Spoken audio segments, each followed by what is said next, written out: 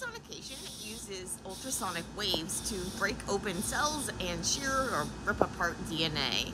And we use it when we're doing a cell lysis. And here's how it works.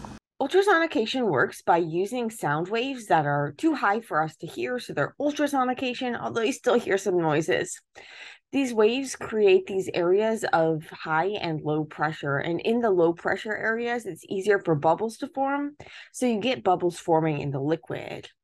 But then, as after those bubbles form, they're hit by an area of high pressure. In the high pressure area, it's harder for those bubbles to survive, and so they collapse. They collapse in a process called gaseous cavitation.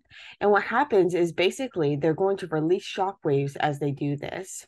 And these shock waves are then going to travel through the liquid, um, hit those cells that you're trying to break open, they're going to help you break open those cells and they're also going to help you shear apart um, the DNA. So basically, break the DNA up into little pieces, which can be very helpful because that DNA can be really, really gloopy.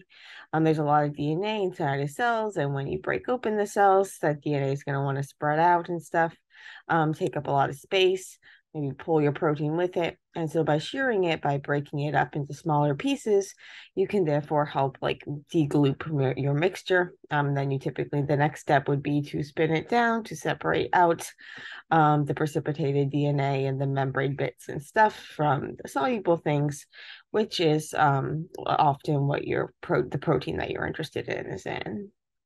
So let's talk in a little more detail about how it works to understand how what, what's going on, we need to understand a little bit the difference between a solid, a liquid, and a gas.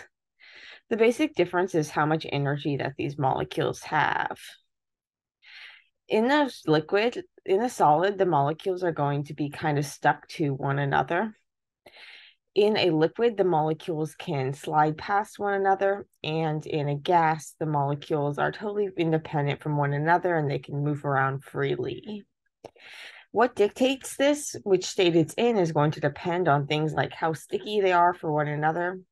So, like the molecules are for one another. So, for example, water, it's really sticky. It's what we call polar. It has these partial positive regions and this partial negative region, which I go into lots more in another post. But this makes it so that water molecules are going to want to stick to one another. And therefore, it's going to take more energy in order for them to overcome their interactions with another molecule. So if you have a low temperature, what this means is that the molecules don't have very much energy. And so they can't, they don't have enough energy to break free from the bonds from one another. If you give them more energy, well, now they can start to break away from those bonds and even more energy, and they can um, break free. Now, what happens though is that the amount of energy they actually need in order to make it as a gas um, to actually escape permanently rather than just like escape temporarily and then get caught by another molecule they need to the pressure needs to be low enough.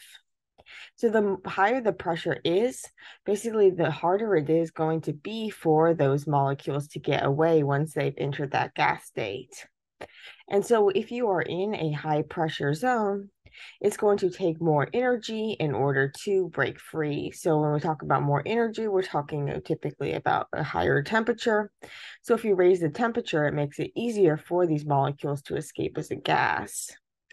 But you can still get these molecules to escape as a gas or what we call vaporize below the boiling point. So the boiling point would be the temperature at which half of the molecules have um, the ability, enough energy to break free below the boiling point, basically, you can still break free, but you typically have to be at a surface.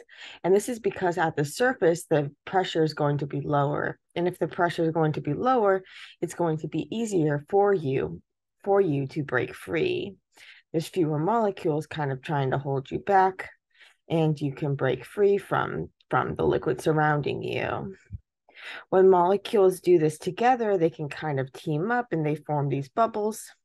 And then um, bubbles can then um, if they were into contact with the air, they can go and join like the bulk air or they can form these bubbles that basically the bubbles are going to the gas molecules in the bubble are going to push on the surroundings try to break free. But if the pressure in the surroundings is too high well now those bubbles are going to burst and what's going to happen in the case of the sonication is that the pressure is going to, initially this pressure is lower, um, and so these bubbles can form. And thanks to Boyle's law, we know that when a pressure, when a, um, the lower the pressure is, the higher the volume is. So those gas molecules are going to start to spread out within the low pressure zone. So you have these growing gas bubbles but then before they can grow too big, you bam, you're hit by a high pressure region. And in this high pressure region, now the external pressure is going to be too high. Those gas molecules can't push out enough and they're going to collapse. And when they collapse, the energy that they had is going to be converted into like these shock waves that are then going to travel through the liquid and um, break up your molecules. In terms of how it actually works in practice, there are a few different forms of sonicators. So there's like bath sonicators, which basically looks like a bath. There are probe sonicators where you have this metal probe that then goes sticks into the liquid. Um, and this stick, um, they, there's like the bigger probes. There also and there's like micro probes which are tinier and you can stick into your liquid. Note that in both cases, we're talking about these waves traveling through a liquid when we talk about sound waves, these waves require some sort of medium in order to move. So they can't just like move through a vacuum or something. They actually move through something, some sort of matter, and they're pushing aside the molecules as they go. So it's not like light where it can just travel through things um, without kind of harming those things because it's just like energy moving. In the case of the sound waves or in the ultrasonic waves are a type of sound waves they're just ultrasonic, so higher than for a higher frequency than we can hear. Um, basically, they're going to push aside the the stuff that they're moving through as they go, and this is how you get those high and low pressure areas. And we can get those waves that are going to push things either from the sides of like the bath sonicator or emanating out from the probe. Now, when we do this, we're not trying to raise the temperature. We're just trying to like, but we need to give those molecules some energy. And when you give molecules energy, you you're raising the temperature. And so when you raise the temperature, that can damage your molecules. And so in order to protect your molecules, if you're using one of those um, probe sonicators, what we often do is you stick your sample on ice, um, make a nice little ice bath it's helpful to kind of take a styrofoam container and cut out holes in the top. And now you can stick your beaker in the hole in, a, in an ice bucket.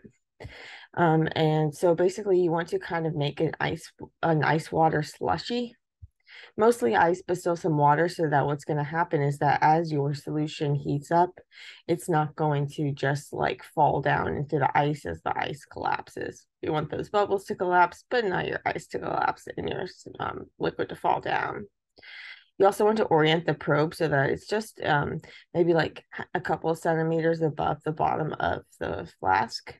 You don't want it to be too high up or you're going to get frothing, but you don't want it to be too low. You don't want it actually touching the glass or else the glass could break. I have had experience in both of those and neither of those are fun. Um, so yeah, so then what you're going to do is depending on how, um, how, what type of cells they are. So like insect cells and mammalian cells are going to be easier to break open than bacterial cells. Um, but you'll do a variety of cycles of sonication for insect cells, I'll typically do something like one second on, four seconds off. So for a minute of total time, it'll actually take like five minutes just for planning purposes. Bacteria, because they have cell walls and all that stuff, they're going to be harder to break open. Um, they can take more of a beating. So we typically do something like three times two minutes with two seconds of on and four seconds of off. If you're having trouble, you might do a few cycles and like refreeze it, rethaw it, um, and then do a few more cycles. You really want to avoid having the beaker fall down and then the tip coming too high up and getting a latte. So what you want to do is in between the different cycles, you want to actually make sure the level hasn't dropped. If it has, then adjust the height with like if it's helpful if you put it on one of those trays that you can then like screw to um, raise or lower the, um, the base.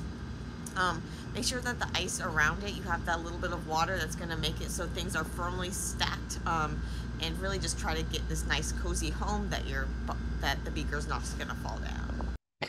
When you go and you spin down your cells, if you lysed it well for the bacteria, you should see like a couple different rings with like different colors. Um, and that indicates that you've you've lysed things open well. If you if your pellet all just like one looks one color, it might not have been lysed completely. Um, and hopefully that makes sense when you actually lyse the pellet and you can see there's kind of a darker ring around that main, um, the main pellet, which indicates good lysis, but you don't want to like over lyse things and then be hurting your protein in the process too. There are other lysis methods that we can use as well, And as we use them in combination, because remember, sonication, it doesn't just break open cells, it's also going to help you with that DNA shearing. Whereas other methods, um, like enzymatic methods to using like breaking up cell walls and things like this, those aren't going to mess with the DNA. So often in those cases, you might also add a DNase enzyme if you're not going to do a sonication. But sonication can be a really helpful tool when you're trying when you're trying to purify protein out of a cell because you need to break the cell open first um, and try to get that you know DNA away from all that protein, which is what you really care about.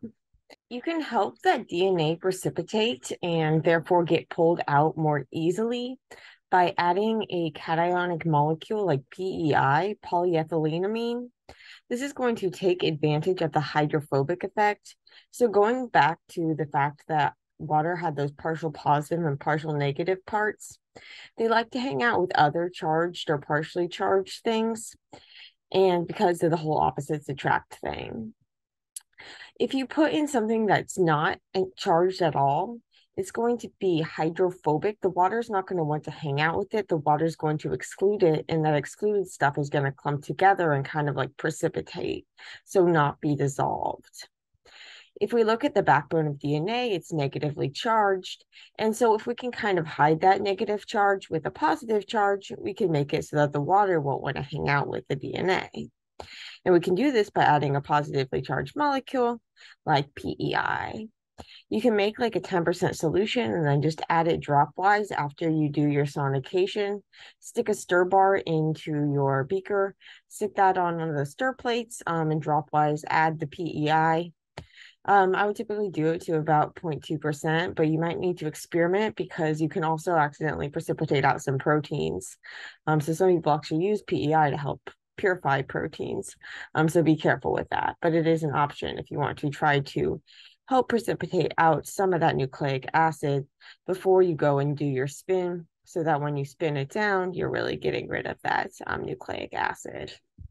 A final note is that the sonication that we're using, basically these ultrasonic waves, are going to be similar to the ultrasonic waves that you see in other applications, such as medical applications or such as whales talking to one another. But in our case, we're using much stronger waves and we're basically sticking them like right in contact with the thing we're working with. And so we're going to be doing things a lot more intensely. And therefore, that's why this can be damaging to the DNA and to the cell walls and all this stuff. When your doctor is sticking an ultrasound on you, that's going to be a lot safer. Those waves are going to be a lot gentler. And that ultrasound is going to be actually safer than x rays and things like that, much safer. Um, so don't worry about something like that happening um, during your ultrasound procedure.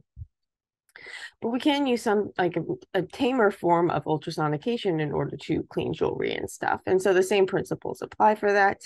Um, you're just kind of taking things to a less intense level. So you're not harming your jewelry and things like this. Um, but ultrasonication is really, really helpful in a variety of areas. So hope this helped you understand um, the principles of ultrasonication. You're generating these low and high pressure weight areas through these waves. In the low pressure area, the bubbles are going to form. Those bubbles can't survive though because they're going to quickly be hit by a high pressure area, and that's going to cause them to collapse and let out shock waves that are going to um, break apart your sample. But in this case, it's a good thing because what we're breaking apart is those parts that we don't want. Remember that this is going to generate heat, so do it on ice when you're when possible. and happy purifying.